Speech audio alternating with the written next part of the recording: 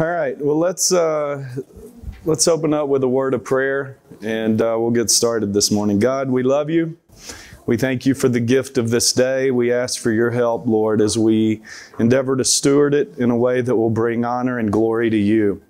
Uh, we just pray, Lord, that as we open this day in your word, that you would speak to our hearts and our lives uh, and help us, Lord, uh, to be stronger in this life that we live for you. And uh, Lord, we thank you for that in your strong and mighty name. Amen.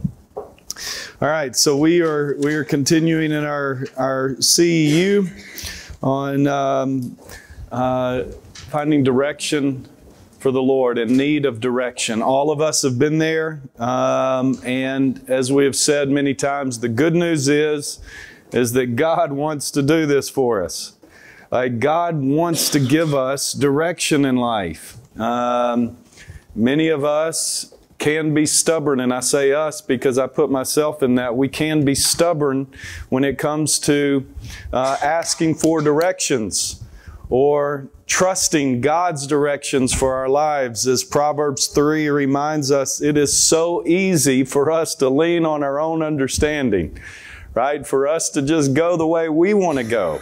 Um, but Proverbs also reminds us that if we will just submit to the Lord, if we'll just trust Him with all of our heart, like He'll give us the direction. He'll make our path straight. That's pretty easy, right? It's very, very simple uh, concept, but maybe a little more difficult to live live out. As we say many times, this stuff is much easier to teach than it is to live. Um, but but certainly God wants to provide direction in our life. Over the last few weeks we've been talking about the process of God's direction because it is a it is a process. The steps of the righteous man are ordered of the Lord. He will make our paths straight. So it's speaking of, of, of not just God, God taking us from point A and just placing us in point B, but it's a journey where we have to walk. We have to, one step at a time, we have to figure out what is God's plan, what is His direction, and take one step at a time as we walk into the fulfillment of that. Uh, so it is, it is a process. What does that process look like? The story of Paul uh, in Acts 20 uh, is a, is a great example of that, of that process. Um, now compelled by the Spirit. So we, we talked about a few weeks ago that one of the first steps in finding God's direction is keeping our ears open for those Spirit promptings in our lives. God wants to give us direction. God still desires to speak to and to lead His children. But if our ears and our hearts are not open to His guidance, to His promptings, we will not know what that looks like for our life. It says, I'm going to Jerusalem not knowing what will happen to me there.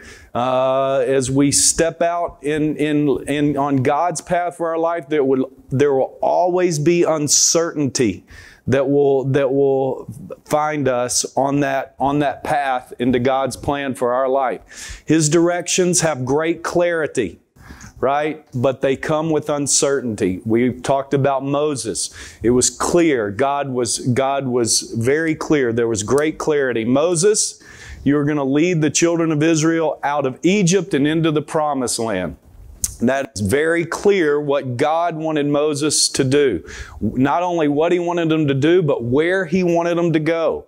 Right? He showed him the, the point A and the point B, and God will do that for us. He will give us that kind of clarity. I want you to go here. I want you to go there. What is uncertain many times is all that is in between. Moses did not expect the 40 years of wandering in the, in the wilderness. If he would have expected that kind of uncertainty, he would have no doubt stayed uh, stayed with the sheep and uh, not not taken the course of, of leading a grumbling bunch of people out of out of slavery who many times didn't want to be led out of slavery. Um, Paul says, I know in every city the Holy Spirit warns me that prisons or that prison and hardship are facing me.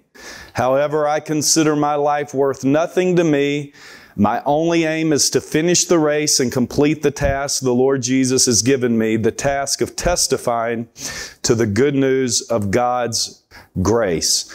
Uh, so today we're going to pick up on this, this idea. I only know in every city the Holy Spirit warns me that prison and hardships are facing me. Prisons and or prison and hardships are facing me. Um, one of the one of the things that that we will we will many times find when we are living out uh, God's plan for our life is is resistance. Uh, resistance. Now you might you might think that that's uh, uh, sort of counterintuitive, right? We would think of if we're living in God's plans, if we are living in God's blessings, then we should have a resistant free life, right? We should have no resistance. But many times the opposite of that is true. When we are most in the will of God is when many times we will face the most resistance in our life. Um, I was listening to some little clips by T.D. Jakes uh, yesterday, who, had, who just has a way of painting pictures with his words, and and he was just talking about the fact that you know if you if you are not a threat then if you're not a threat to do something great for God, then you're never going to be a target of the enemy. And so many times it's not, it's not a fact of why am I being, why, why am I facing such opposition? Why am I facing such resistance in my life? The bigger question should be for us is, why am I not facing resistance? Because if I am not facing resistance in my life, that probably means that I am not doing something right or that I'm not living my life in complete submission and obedience to the Lord. Because anytime we step out to do something living for God, anytime we strive uh, to live out God's plan or to follow His direction for our life, we will face some kind of resistance. Why? It's very simple. Because just as God has this incredible plan for all of our lives, Satan also has a plan, and his plan is for us not to fulfill the plans of God. Right? So he will do anything that he can to keep us from fulfilling God's plan. Now, hopefully for all of us, um, I, I hope that our prisons and hardships will not look like Paul's. Like his were literal prisons right? His his his resistance was um, was literal, literal hardships and and and uh, uh, torture. I mean, he faced this literally. I, I, think many times the resistance that, that we face is more of a spiritual uh, a spiritual hardships, spiritual prisons, or emotional hardships or prisons that often come uh, from from relational uh, places of relationship. Right. So maybe it's people rising up against us, or people doubting us, or people speaking negatively into our life, or maybe just the circumstances of life seem to be piling up on us, and and so many times the prisons and hardships we face are are a spiritual spiritual and not a, not a literal. Uh, but they are every bit as real. Right? And so I, I think one of the great Bible passages on this is Ephesians 6. Um, that, that talks to us about, about this resistance that we face and sort of what to do with it. And I just want to read this, uh, read Ephesians 6 or beginning with verse 10 uh, to you. I, I, know you all know this, but I just want you to be encouraged by, by these words. And then I want to give you a few thoughts outside of the armor of God, just some thoughts that sort of frame uh, the armor of God in this, in this passage. Because I think we all know, and, and Paul tells us here, the way that we fight resistance is to take up the full armor of God, right? And, but, but I think there are some ideas that frame this for us that are important for us to remember. Finally, be strong in the Lord and in His mighty power. Put on the full armor of God so that you can take your stand against the devil's schemes or the devil's resistance. For our struggle is not against flesh and blood, but against the rulers, against the authorities, against the powers of this dark world, and against the spiritual forces of evil in heavenly realms.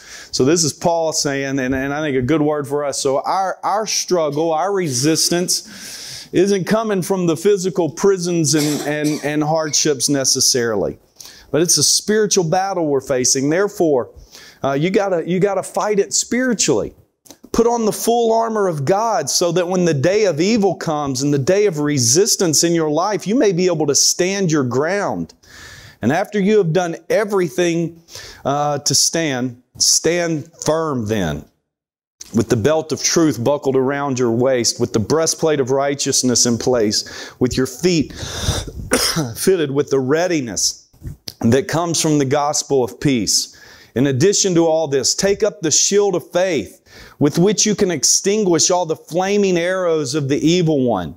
Take the helmet of salvation and the sword of the Spirit, which is the Word of God. And pray in the Spirit on all occasions with all kinds of prayers and requests. With this in mind, be alert and always keep on praying for all the saints. Pray also for me that whenever I open my mouth, words may be given to me so that I will fearlessly make known the mystery of the gospel for which I am an ambassador in chains. Pray that I may declare it fearlessly as I, as I should. Uh, now, all of us have heard, have heard countless, countless messages, a plethora it's another big word, right? Of, of messages on the armor of God, uh, right? Too many for, for all of us to count. So I want to focus on a few of these, a few of these uh, statements that sort of frame uh, the armor of God. And I, I didn't, I didn't give, uh, or, or I didn't put in here the, the verse 10, which is, I think, where it all starts. Be strong in the Lord and His mighty power. But I think for all of us that that's the, that's the place that's, this starts, right? That, that we remember that it's greater is He that is in us. Greater is He that is in us than He that is in this world. There is, there is not one of us in this room that is strong enough to fight this resistance on our own. Uh, that, that's why going back to Proverbs, it tells us not to lean on our own understanding. Why? Because your understanding's not good enough. You will never be smart enough. You will never be strong enough. You will never be good enough on your own to overcome the enemy, to fight the resistance of the enemy on your own. It is greater is He that is in you. Your strength comes from Christ in you, the hope of glory. That is where your strength comes, comes from. And so everything we, we talk about today will, will be predicated upon that. But the first, the first thought that, that I, I want to just give you that, uh, or, or, that Paul gives us, I think, in framing this idea of the armor of God, or this analogy of the armor of God in our life, is that we should stand our ground. That we should stand our ground. Um, many of you have perhaps heard it said in, in different environments, man, it's time to take a stand. We got we got to take a stand against this. We got to take a stand against that.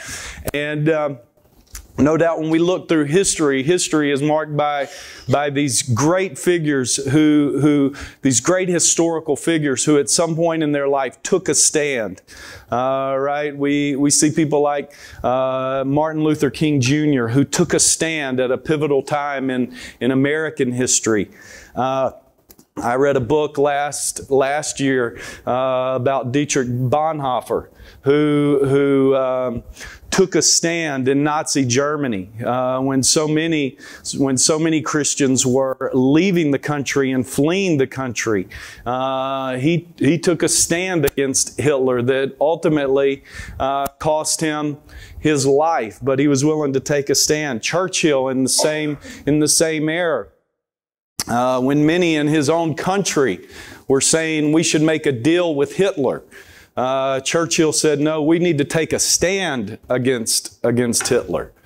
one of my, one of my favorite historical figures um, is, is Nelson Mandela right? Who, who uh, this great figure in, in South Africa who uh, stood for racial inequality or for racial equality in that, in that uh, country and was put in prison for 17 years I mean, you, you're talking about somebody who had every right to grow bitter, right? Uh, but but he did not allow himself to grow bitter, and when he got out of prison, uh, he still took uh, he still took a stand for what is right and led with integrity uh, in a way that was truly a model to the world. Uh, all historical figures who took a stand about some issue of injustice in their in their world. Um, for all of us, we might not be called upon in the, in the annals of history to take that kind of stand that will be marked by the history books. But every day in our life, there is a war that is going on. Uh, there is a resistance that is, that is coming against us, uh, that is trying to take us down and to take us out. Um, and it is so easy, it's so easy to just sort of run from that battle or sort of ignore that battle, uh, maybe even to pretend that it doesn't exist. Uh, but Paul encourages us to take a stand, to take a stand. Um, and and I think I think if there's any lesson that, that I've learned in in years of, of ministry and just just serving the Lord, um, that that sometimes more than knowledge and more than than skill, it's your it's just pure grit that's going to get you through uh, life's life's toughest battles. The ability to truly believe when everything else is falling apart and to stand when it feels like the ground underneath your feet is, is falling away, to stand. Notice how many times Paul says that several times in the, in the opening part of this passage to stand and not just to stand, but to stand firm in our faith. We live in a world that every day tries to shake our faith, that tries to shake us up as, as people. And, and God says, stand and stand firm um, in me. Stand your, your ground.